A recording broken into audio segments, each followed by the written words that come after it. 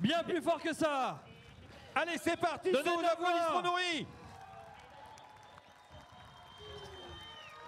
And we're off. Pour le Grand Prix international des Amazones 2019 à Château-Gontier. Un premier obstacle. Et c'est parti, et c'est bien parti. Jason. Oui, c'est bien parti. Euh, je change en anglais maintenant. Uh, the first one we see the, at the head of the field in the blue cap, making his way around the top bend is Berner, ridden by Heidi de Rouvier.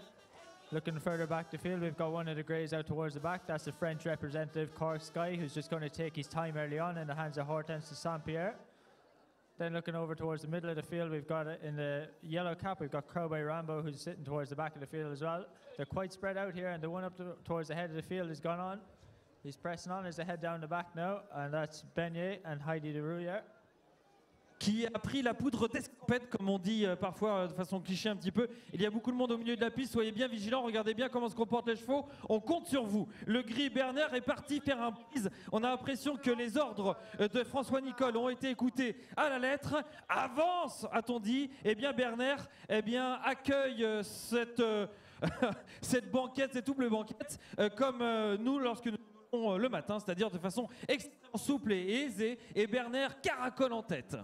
Oui, euh, Berner qui a toujours euh, très librement l'avantage avec la représentante belge, représentante belge dans cette course internationale, alors que eh la toque jaune, c'est la représentante anglaise avec Croco Boy Rainbow euh, qui vient en seconde position et qui n'est pas loin du tour. On est là également avec Cork Sky, c'est la représentante française Hortense de la Pérodière également qui est parmi les derniers. Suzanne Hawks, la championne Suzanne Hawks vient également en avant-dernière position alors qu'ils sont dans la ligne d'en face et que c'est maintenant le numéro 5 qui a pris librement l'avantage avec sa Alors que Crowboy Moses, le numéro 2 avec cette toque verte, c'est Sarah Conway, vous salue bien et descend à sa façon la double banquette. On pourra l'applaudir dans quelques instants. Alors que le gris Berner a pris euh, vraiment 100 mètres, 150 mètres d'avance et caracole en tête associé à euh, donc euh, Eddie de Ruvier qui est très très loin devant les autres mais on réagit maintenant avec la toque jaune de Catherine Featherstone c'est-à-dire que c'est l'Angleterre qui se rapproche alors qu'un petit peu plus loin on retrouve également Cyclone W associé à la championne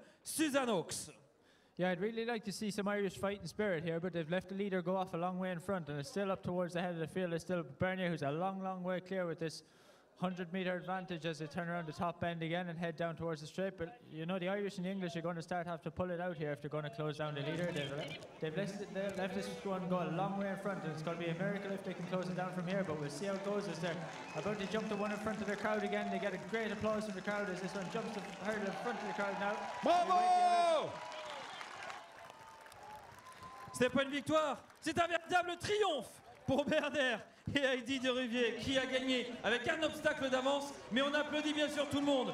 Qu'on retrouve maintenant Cowboy Rambo à la lutte avec. On retrouve ici Cyclone W.